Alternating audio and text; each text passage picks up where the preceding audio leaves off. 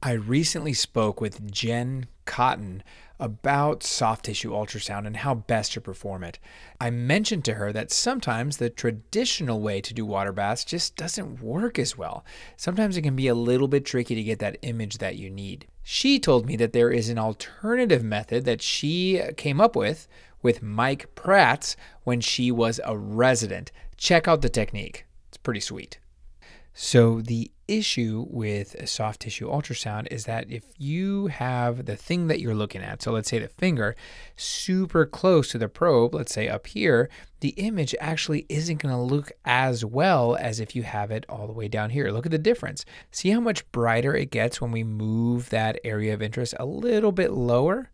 Right here much brighter, much easier to see than if we have it right up on the probe. The reason for that is that the uh, linear transducers actually don't start seeing all that well until they're about, I don't know, 0.5 or so centimeters away from the transducer. So that is why it's so important to use a water bath when you're looking at superficial structures such as the evaluation of soft tissue in the hand or the foot. Traditionally, what you do is you can just get a water bath. You just fill up these things right here. This acts as a standoff pad. You place the patient's hand in here and you look. But as you can see, what if I had an issue in my palm? It'd be impossible to look at it in the water bath. Now, this is a common issue that comes up in the emergency department.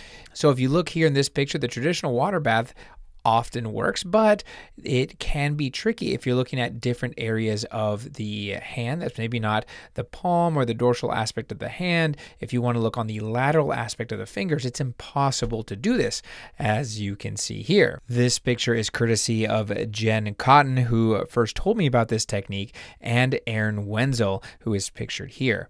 Now, what they suggest is using these things. These are used often to measure the urinary volume, and they are made out of a special material that actually is conducive to getting good ultrasound images.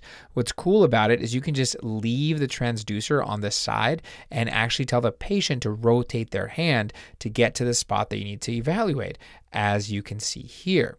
So, especially when we're talking about the hand, it is significantly easier to use this technique.